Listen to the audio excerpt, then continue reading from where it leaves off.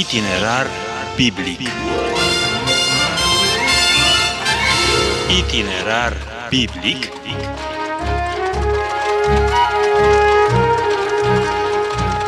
Itinerar biblic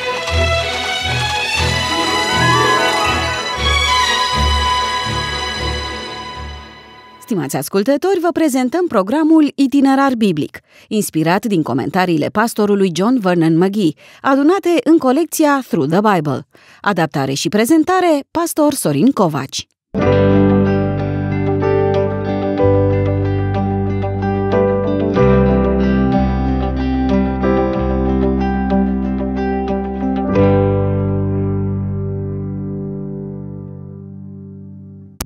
Dragi ascultători, așa cum anticipam, îl însoțim acum pe Domnul Isus în ultima săptămână a lucrării sale publice aici pe pământ. Acest capitol 21 din Evanghelia după Matei cuprinde câteva din evenimentele care marchează această săptămână. Consider că nu este niciodată prea mult atunci când afirmăm motivul pentru care Domnul Isus este în Ierusalim și care este evenimentul care va încheia această săptămână numită și Săptămâna Mare. Jerfa Domnului Isus este evenimentul central. Este evenimentul care a schimbat istoria întregii omeniri, nu numai pentru viacul acestea, dar și pentru veșnicie. De aceea, acest eveniment trebuie să fie mereu viu în mintea noastră a tuturor. Să vedem deci ce se întâmplă în deschiderea acestei săptămâni. Mai întâi este vorba despre intrarea Domnului în Ierusalim. Ne amintim că nu este pentru prima oară când vine în Ierusalim, dar de fiecare dată a intrat fără să fie observat de ceilalți. De această dată este altfel. Când s-au apropiat de Ierusalim și au ajuns la Betfage, înspre muntele măslinilor, Isus a trimis doi ucenici și le-a zis, Duceți-vă în satul dinaintea voastră.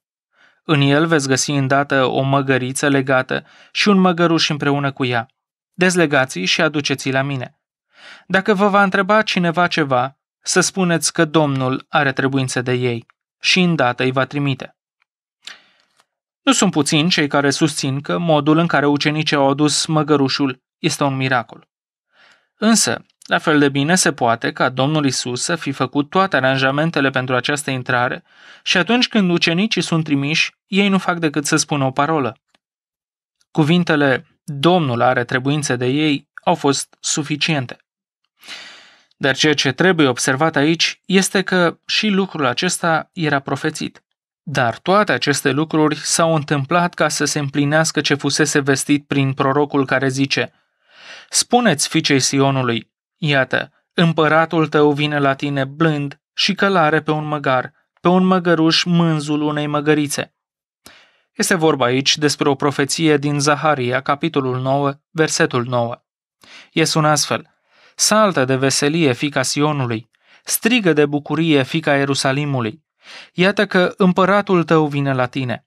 El este neprihănit și biruitor, zmerit și călare pe un măgar, pe un mânz, pe mânzul unei măgărițe. Este impresionant faptul că fiecare detaliu a fost trecut în planul lui Dumnezeu. Nimic nu a fost lăsat la voia întâmplării. Acum, un alt element care trebuie luat în considerare aici este acela că Domnul Isus comunică ceva prin acest act. Este recunoscut faptul că există multiple forme de comunicare pe lângă comunicarea verbală. Mai cu seamă în Orient, se foloseau anumite acțiuni sau obiecte pentru a comunica anumite lucruri. O să vedem la timpul potrivit acțiunile anumitor profeți prin care era comunicată voia lui Dumnezeu. Și Domnul Isus comunica ceva acum. Până acum le vorbise în diferite feluri, atât prin vorbire directă, cât și prin pilde. Acum a ales această cale pentru a le spune încă o dată cine este el, care este misiunea lui. Măgărușul avea o anumită poziție în societatea celor zile. El nu era animalul desconsiderat de societatea occidentală. Nici măcar nu era un animal de rând, animalul de povară folosit de cei săraci. Cei săraci nu aveau nici măcar acest măgăruș de povară. Apoi, dacă privim în istoria poporului evreu, vedem că măgărușul era folosit de nobili sau regi ai poporului. Avram, David, Ahitofel, Balam, Saul, toți călăreau pe măgari. De fapt, măgărușul era vehiculul regilor sau oamenilor de vază pe timp de pace. nu era un simbol al umilinței, ci unul al păcii. Calul era folosit pe timp de război, iar măgărușul pe timp de pace. Deci, Domnul Isus venea ca un domn al păcii. Acesta era mesajul pe care îl aducea el. Ei așteptau un războinic, un eliberator, iar el venea ca prinț al păcii. Ucenicii s-au dus și au făcut cum le poruncise Isus. Au adus măgărița și măgărușul și au pus hainele peste ei și el a șezut deasupra. Cei mai mulți din norod își așterneau hainele pe drum. Alții tăiau ramuri din copaci și le preserau pe drum. Noroadele care mergeau înaintea lui Isus și cele care veneau în urmă strigau, Osana fiului David, binecuvântat este cel ce vine în numele Domnului, Osana în cerurile prea înalte. Oamenii aceia se lasă prinși în atmosferă și îi fac Domnul Isus o primire regală. Primirea aceasta era una din cele cu care erau onorați regii. De fapt, se prea poate ca în amintirea lor să fi revenit un episod glorios al istoriei lor, când Iuda Macabeul intra ca eliberator al Ierusalimului. Poate că ei se așteptau ca Domnul să înceapă acum o insurecție care să scuture jugul roman și să aducă eliberare. Domnul Isus aducea eliberare, dar una mult mai importantă decât cea de sub puterea romană. Cineva spunea că nu este o temniță mai grea decât temnița sufletului. Nimic nu se poate compara cu ea. Ori din această închisoare venise Domnul Isus să aducă eliberarea. El venise să scoată mizeria din sufletul oamenilor, așa cum va scoate stricăciunea umană și din templul lui Dumnezeu. Isus a intrat în templul lui Dumnezeu. A dat afară pe toți cei ce vindeau și cumpărau un templu, a răsturnat mesele schimbătorilor de bani și scaunele celor ce vindeau porumbei și le-a zis, este scris, casa mea se va chema o casă de rugăciune, dar voi ați făcut din ea o peșteră de tâlhari. Poate v-ați întrebat ce căutau acei vânzători de porumbei, de animale, schimbători de bani în curtea templului. Ei bine, nu este foarte greu de explicat. La acea dată, poporul evreu era încă sub incidența legii mozaice și o parte însemnată a ei era cea legată de jerfe. Erau acolo date prevederile legate de jerfele ce trebuiau aduse, modul în care se aduceau ele, condițiile pe care trebuia să le îndeplinească animalele, tot ce era legat de jerfe. Printre prevederile exprese ale legii era cea legată de calitatea animalelor aduse ca jerfă. Ele trebuia să fie fără cusur. Pe de altă parte, erau mulți cei care doreau să aducă o jerfă la templu și veneau de la mari distanțe aducând cu ei animalul pentru jerfă. Însă, odată ajungi la templu, aici erau întâmpinați de cei care controlau calitatea animalului. De fiecare dată aproape, se găsea câte un cusur care zădărnicea efortul celui care l-a adus până acolo. Dar se găseau și soluții. Dacă voia, putea să-l vândă pentru hrană. Cu banii primiți, putea să cumpere un altul de la vânzătorii acreditați pe lângă templu. Numai că era o problemă. În curtea templului nu se permiteau bani care aveau pe ei chipul cezarului. Aceasta contravenea unei alte prevederi legale referitoare la chipul cioplit. Dar și pentru aceasta se găsea o soluție. Exista o monedă a templului. Așa se justifică prezența schimbătorilor de bani acolo. După cum putem vedea, religia oferea bune oportunități de afaceri. Pentru mulți, ea nu mai însemna decât atât. Dragii mei, dacă suntem ispitiți să-i condamnăm, trebuie să fim atenți și să ne examinăm cu atenție pe noi înșine. Adesea religia devine pentru unii o afacere. Nu se sfie să facă comerț chiar cu Dumnezeu. Am cunoscut persoane care încercau să cumpere binecuvântări de la Dumnezeu. Doamne, spuneau ei, dacă mă ajuți de această dată, eu o să fac cu tare și cu tare lucruri. Dragi prieteni, acesta este un târg. Este o afacere. Numai că Dumnezeu nu face așa ceva. El nu face afaceri cu noi. El oferă tot ce are de oferit din dragoste și nu ca comerț. Deci nu este de mirare că Domnul Isus se înfurie. Cât de departe erau oamenii față de ceea ce le spusese Dumnezeu. Cât de departe ajunseseră față de ceea ce intenționase Dumnezeu pentru ei. Atitudinea lor mă face să mă întreb, cum suntem noi? Oare ce ar face Domnul Isus dacă ar pătrunde în templul sufletului nostru? Ar lua biciul? Poate că da. Dar observați ce ne spune Matei imediat după acest incident. Niște orbi și șchiopi au venit la el în templu și el i-a vindecat. Ori avem ce aștepta mai mult, chiar dacă este supărat și ia măsuri drastice, el nu uită de cei nevoiași. Dragii mei, dacă Duhul lui Dumnezeu ne spune că templul nostru nu este curat și că Domnul ar lua biciul, El ne spune și că este iertare. Este înțelegere la Domnul nostru. Pe cei care erau în nevoie nu i-a respins și nu o va face nici cu noi. Dar nu se putea ca gestul lui să treacă neobservat. Imediat, oficialitățile trec la măsuri, dar preoții cei mai de seamă și cărturarii, când au văzut minunile pe care le făcea și pe copii strigând în templu și zicând Osana fiului David, s-au umplut de mânie și au zis Auzi ce zic aceștia? Da, le-a răspuns Isus. Oare n-ați citit niciodată cuvintele acestea? Tu ai scos laude din gura pruncilor și din gura celor ce sug.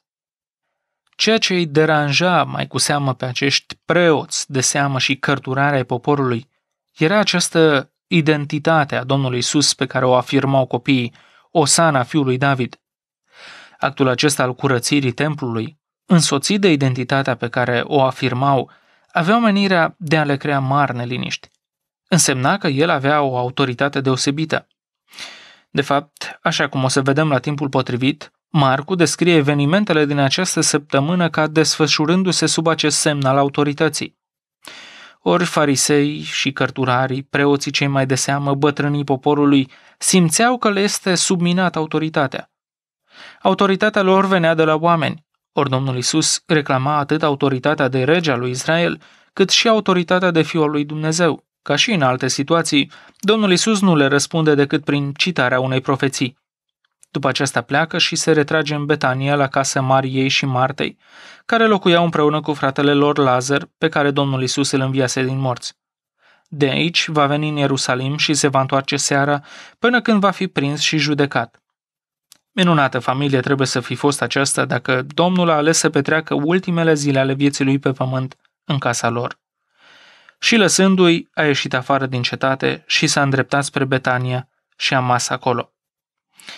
Dar a doua zi, Domnul se întoarce în Ierusalim. De această dată nu mai are parte de aceeași primire. Fiindcă am atins din nou acest eveniment al intrării Domnului Isus în Ierusalim, doresc să atrag atenția asupra câtorva aspecte legate de ceea ce în general este numit intrarea triumfală. Mai întâi, trebuie observat faptul că numai anumite părți ale profeției lui Zaharie se împlinesc aici. El venea acum în calitate de mântuitor. Va mai fi o intrare în care Domnul va veni atunci ca judecător al casei lui Israel. Apoi, ceea ce avem noi redat în Evanghelii este o imagine compusă a intrării Domnului în Ierusalim. Sunt mai multe intrări, de fapt, ale Domnului nostru în această cetate. O primă intrare are loc în ziua de sabat. În acea zi nu era posibil să găsească schimbătorii de bani în templu. El a intrat în mod triumfal, dar intră în templu și privește în jur. Este ceea ce ne relatează Marcu. Isus a intrat în Ierusalim și s-a dus în templu. După ce s-a uitat la toate lucrurile de jur împrejur, fiindcă era pe înserate, a plecat la Betania cu cei 12. Această intrare este intrarea în calitate de preot. El era mare preot care venea să aducă ispășirea. A doua zi era prima zi a săptămânii, duminica. Era o zi de lucru pentru schimbătorii de bani. Este momentul curățirii templului. Aici Domnul nostru intră în calitate de rege. Este episodul pe care îl relatează Matei. În cea de-a treia zi, care este lunea, Domnul Isus plânge pentru cetate. Este o zi în care face multe vindecări și de multe învățături. De asemenea, face profeții cu privire la cetatea Ierusalimului. Era intrarea profetului. Toate aceste intrări sunt perfect compatibile cu rolul Domnului Isus. El este și mare preot, și rege, și profet. De fiecare dată el a tras atenția asupra lui și a misiunii sale, dar de fiecare dată nu a fost luat în seamă. De fapt, chiar acea intrare măreață, triumfătoare, era o sărbătoare a scoaterii lui din scenă. La numai o săptămână, probabil aceleași persoane care ovaționaseră intrarea lui în Ierusalim vor striga împotriva lui, dorindu-i moartea. Erau oameni care se lăsau prinși de atmosferă și, cu mare ușurință, puteau ovaționa sau putea huidui. Dragii mei, trebuie să fim foarte atenți la ceea ce se întâmplă cu noi. Recunoașterea Domnului Isus nu este numai o emoție ușoară creată de atmosfera din jur.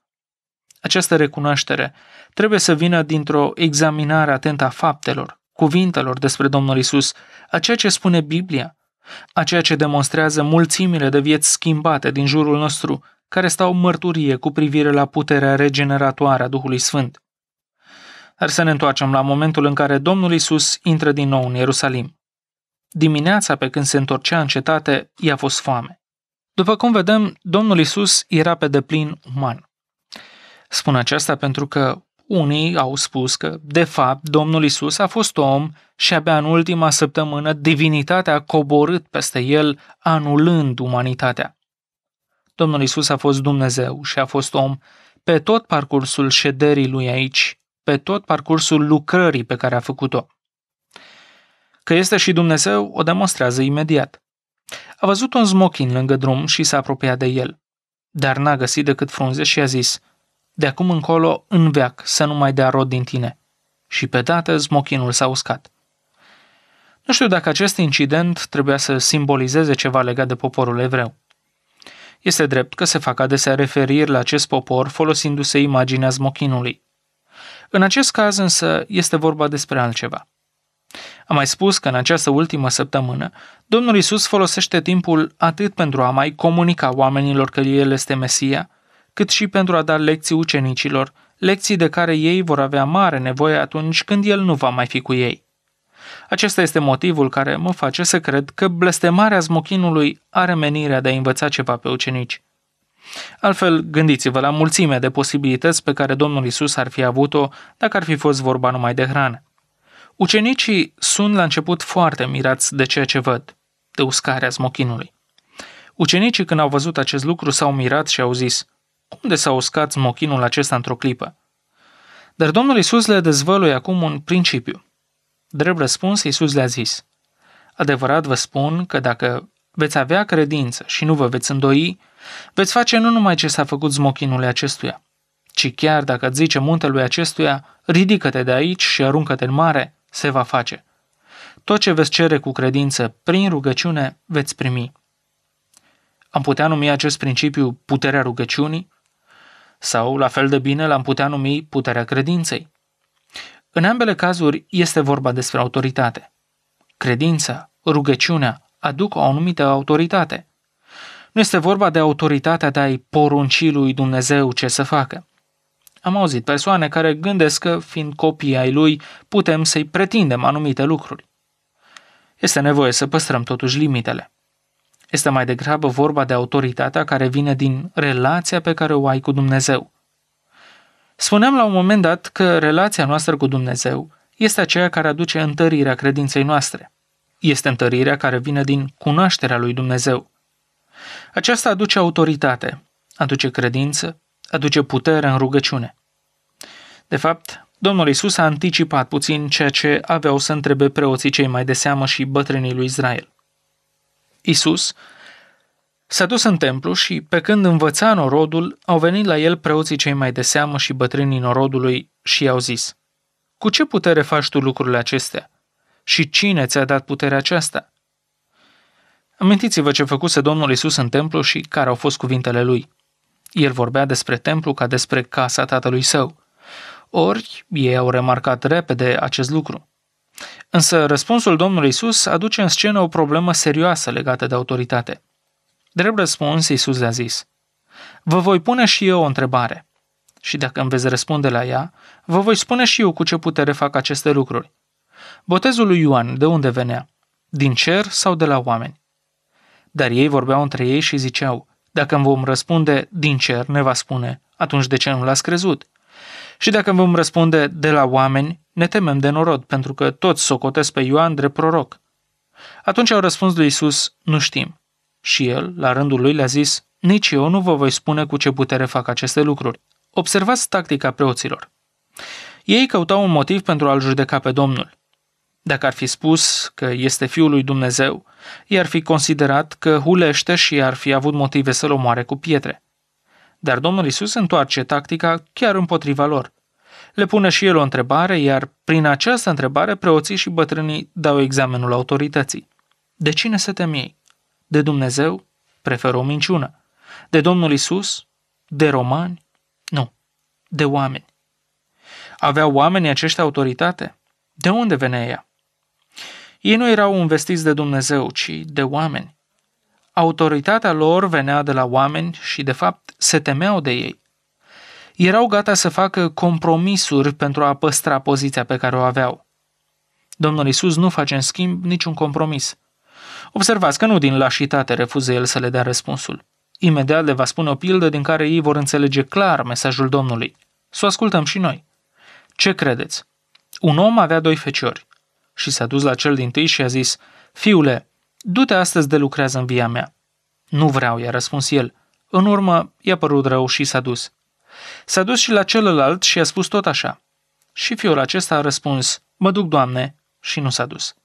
Care din amândoi a făcut voia tatălui său? Cel din tâi, au răspuns ei. Și Isus le-a zis, Adevărat vă spun că vame și și curvele merg înaintea voastră în împărăția lui Dumnezeu. Fiindcă Ioan a venit la voi umblând în calea neprihănirii și nu l-ați crezut. Dar vame și și curvele l-au crezut. Și măcar că ați văzut lucrul acesta, nu v-ați scăit în urmă ca să-l credeți. Afrontul adus de Domnul Isus acestor lideri religioși este foarte mare. Domnul Isus îi asemuiește cu cel care nu avea respect față de tatălui și promite, dar nu face nimic. Cu alte cuvinte le spune că nici măcar puterea de a se pocăi nu o mai aveau. Jignirea este cu atât mai mare cu cât cei cu care sunt comparați nu sunt alții decât cei mai disprețuiți oameni din Israel. Dar nici următoarea pildă nu-i menajează. Ascultați o altă pildă. Era un om, un gospodar care a sădit o vie. A împrejmuit-o cu un gard, a săpat un teasc în ea și a zidit un turn. Apoi a dat-o unor vieri și a plecat în altă țară. Când a venit vremea roadelor, a trimis pe robii săi la vier ca să ia partea lui de rod. Vieri au pus mâna pe robii lui și pe unul l-au bătut, pe altul l-au omorât, el pe altul l-a ucis cu pietre. A mai trimis alți robi, mai mulți decât cei din tâi, și vierii i-au primit la fel. La urmă a trimis la ei pe fiul său zicând, vor primi cu cinste pe fiul meu. Dar vierii când au văzut pe fiul au zis între ei, iată moștenitorul, veniți să-l omorâm și să punem stăpânire pe moștenirea lui. Și-au pus mâna pe el, l-au scos afară din vie și l-au omorât. Acum când va veni stăpânul viei, ce va face el vierilor acelora? Mesajul pildei Domnului nostru este foarte clar. O să vedem mai târziu că au înțeles exact mesajul. Nu au avut nevoie de explicații suplimentare. Ba mai mult, chiar ei au dat răspunsul cu privire la judecată. Ei au spus, pe ticăloșii aceia ticălos îi va pierde și viu va da altor vieri care vor da rodurile la vremea lor. Cât de drastici erau ei cu alții. Preoții și bătrânii erau confruntați cu păcatul din viețile lor și preocuparea lor era aceea de a păstra pozițiile pe care le aveau. Oare nu se întâmplă la fel cu noi? Autoritatea Domnului apare în viața noastră și ne arată care este adevărata problemă, problema numită păcat, dar noi vrem să scăpăm de el, de Domnul, pentru că ni se pare că este subminată autoritatea noastră. Ne întrebăm adesea și noi ce vor spune oamenii. Știu că am nevoie de Dumnezeu, de iertare, dar ce vor spune oamenii? Chiar și în viața pocăiților mai apare păcatul. Este ceea ce spune Scriptura. Suntem invitați să ne pocăim de ele, să venim înaintea lui Dumnezeu pentru iertare. Dar ne gândim ce vor spune ceilalți? Ei știu că eu sunt pocăit și că eu umblu cu Dumnezeu. Cum să vadă ei că am căzut? În fața unor astfel de situații trebuie să ne aducem aminte de ce spune Domnul nostru. Adevărat vă spun, că dacă veți avea credință și nu vă veți îndoi, veți face nu numai ce s-a făcut smochinului acestuia. Ajută-ne, Doamne! Aici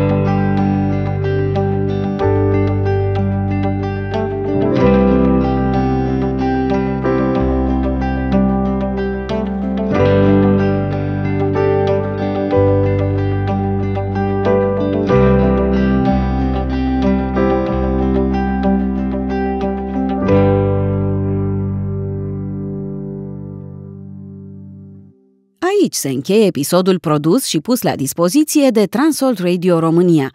Vă anunțăm că suntem interesați de efectele sale în viața dumneavoastră. De asemenea, că puteți solicita copii ale episoadelor în format MP3 sau materialele scrise în format electronic. Contactați-ne la telefonul 021 346 2468 sau prin e-mail la adresa radio.arond.twr.ro. Vă mulțumim!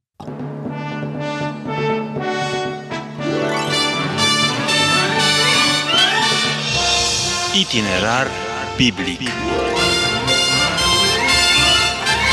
Itinerar biblic.